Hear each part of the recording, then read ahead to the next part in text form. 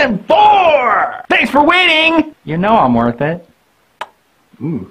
That was creepy. We're talking about the tale of the Princess Kaguya because it's amazing. It happens to be Ghibli and this isn't Ghibli month, but I'm gonna do it anyway. Ah, we're back.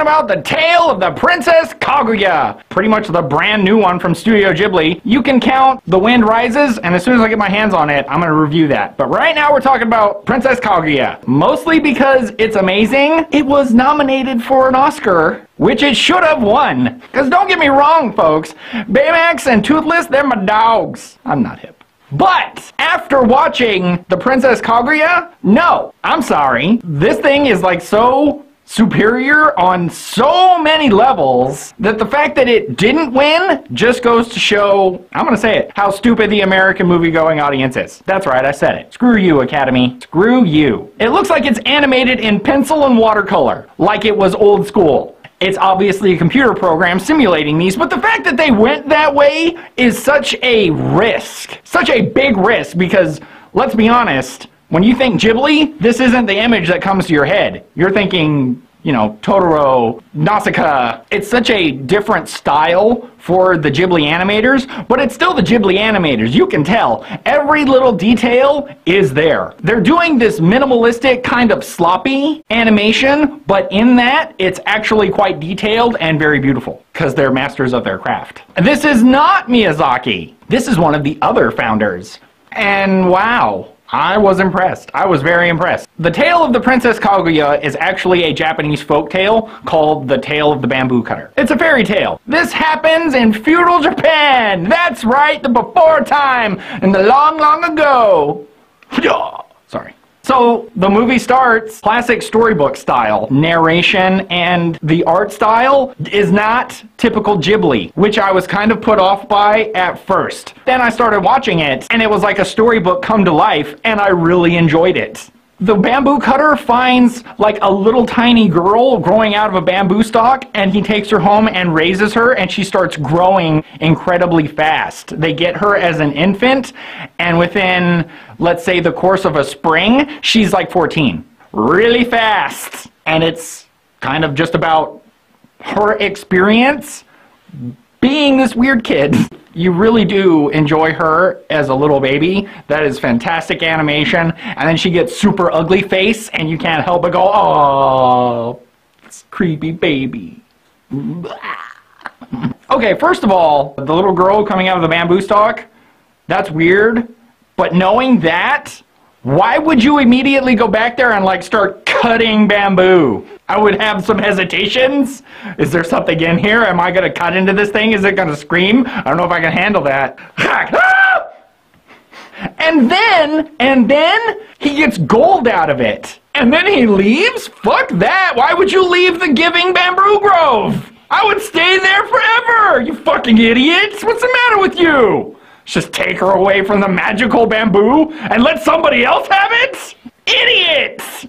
All the kimonos that come shooting out of the bamboo. I would have thought the bamboo was doing a magic trick. But no, seriously, you keep the best and you sell them. And then her dad, he decides to raise her as the princess he thinks she is. So, you know, he takes her out of the city and starts making her go through all these weird Japanese customs. They're not weird, they're just outdated and kind of weird to us. Why would you paint your teeth black? That's weird. You see those nobles? They were falling all over each other. Takes her down, makes her become a noble woman, if you will, waits till she, you know, comes of age, she's probably like 16, throws a big party saying, hey guys, my daughter's legal, she's in the back sitting in a box. That party lasted for three days, good job. Woo! Party! So if you're a prince trying to get a princess that you've never seen to like you, being the suave guy that you are, you compare her to something unattainable, something that most people can't normally get. But make sure you, as a quasi-rich, quasi-powerful person can still get the item. It's got, I would say, a melancholy end. If I had to wrap up the, the moral, the, the main moral of the story is be happy with what you have because you may not have it forever. I enjoyed it. I enjoyed it thoroughly. I will tell you right now why it didn't win an Oscar.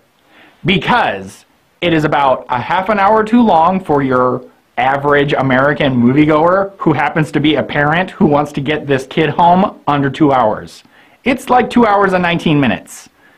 Yeah, that is a little long for an American movie-going parent who wants to entertain a kid. Another reason why it didn't win, because they went traditional animation, not CG. Did you notice the winner was CG? Oh yeah, I did notice that. It's like they're taking points away from him because he didn't make it look prettier. That was hard what he did, all right? That was hard and beautiful. It's literally moving art. It isn't a happy ending, but most real fairy tales aren't. So let's just get that out there. And the final reason it didn't win was because of the breasts. That's right. American audiences can't handle that in a cartoon. They just can't. They can't handle nipples. That's right. Even when they're being used properly. There is there is this one really weird transition in the movie. It's weird and it's like 30 seconds of what's going on. It's not really 30 seconds, but that's how it feels. You're like, is this still happening? Overall, I thought this was a very nice experience.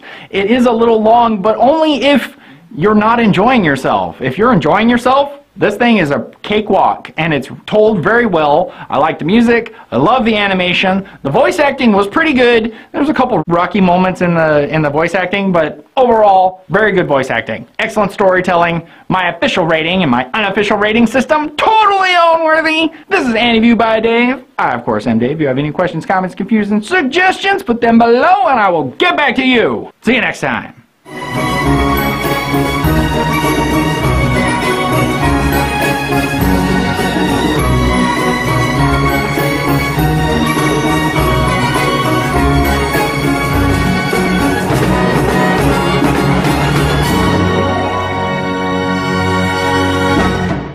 What would you do if you found a little girl in a bamboo stalk?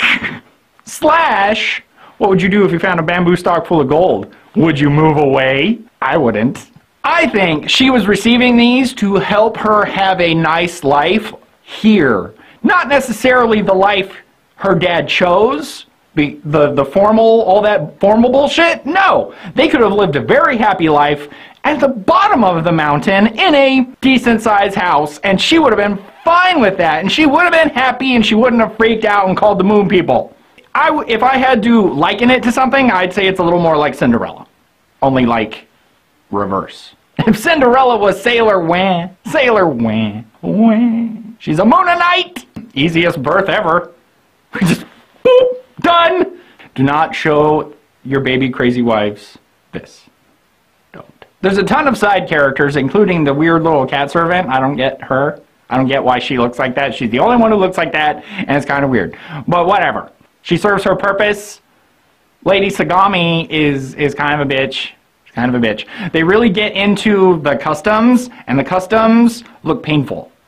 There's Sutemaru, who's her childhood friend, who she runs into after she becomes a princess, you know, and they have they have a thing. They have a thing. He's totally gonna leave his wife and kid just right now. Let's go! Seriously a dang Sutemaru.